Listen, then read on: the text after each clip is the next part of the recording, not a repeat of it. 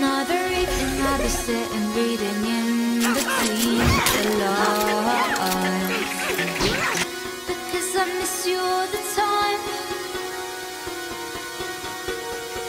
So